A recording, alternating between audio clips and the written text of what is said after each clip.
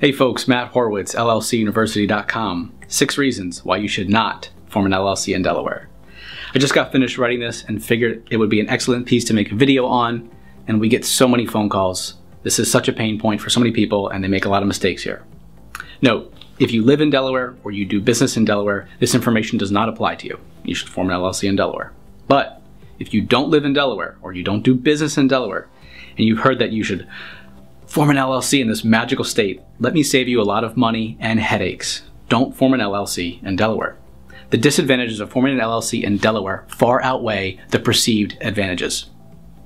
Let's look at an example. Nathan is from Connecticut. He reads online that Delaware is the best state to form an LLC in, so he forms an LLC in Delaware. He's a resident of Connecticut. He already pays taxes in Connecticut, and his home office is based in Connecticut. Most people aren't aware of, but there's a lot of issues with this setup. Illegally transacting business without authority. Nathan's Delaware LLC is doing business illegally in Connecticut.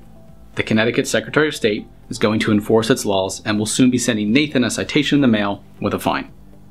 So he needs to register as a foreign LLC. To remedy the citation, and because it's the law, Nathan, Nathan must now, it's hard to read your own writing, Nathan must now register his Delaware LLC as a foreign LLC in Connecticut so he needs to file a Connecticut foreign LLC registration, pay the state filing fee, which is $120 in Connecticut. It's a lot more expensive in other states.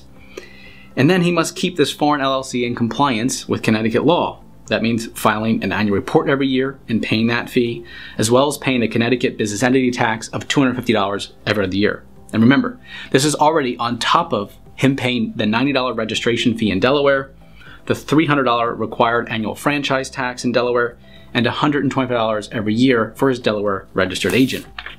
In short, Nathan now needs to maintain two LLCs. He has a domestic LLC in Delaware and a foreign LLC in Connecticut, and it gets worse. So Nathan was deceived into forming a Delaware LLC because he read it was a tax-friendly state. And while this is true, it really only applies to large, multi-million dollar companies and not small business LLCs. And look, don't just take our word for it. Read what the Del Delaware Secretary of State has to say about the hype.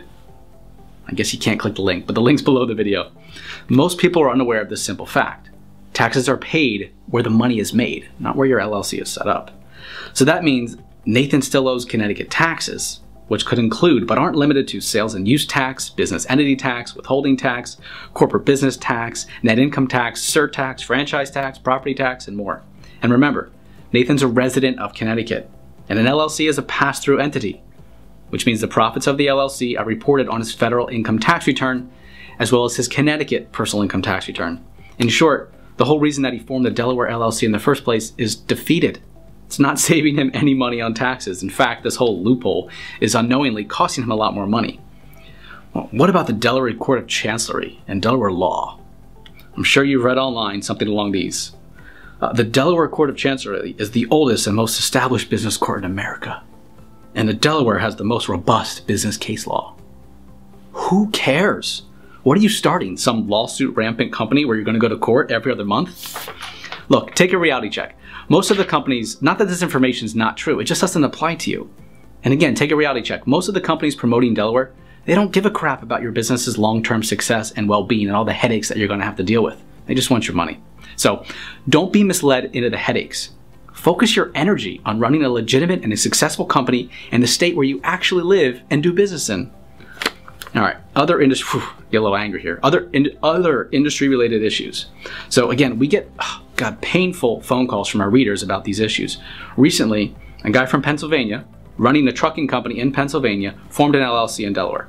So later, he tried to register his trucks as being in Delaware with the Department of Transportation. They denied his application because he was not a resident of Delaware. And that ended up costing him $20,000 of business that month. So I'm not going to list out dozens and dozens of examples here, but I just want to let you know this information you're not going to find on websites promoting Delaware, and you're probably going to, going to hit industry-specific quirks where you're going to have issues with your out-of-state LLC. Um, all right, takeaway.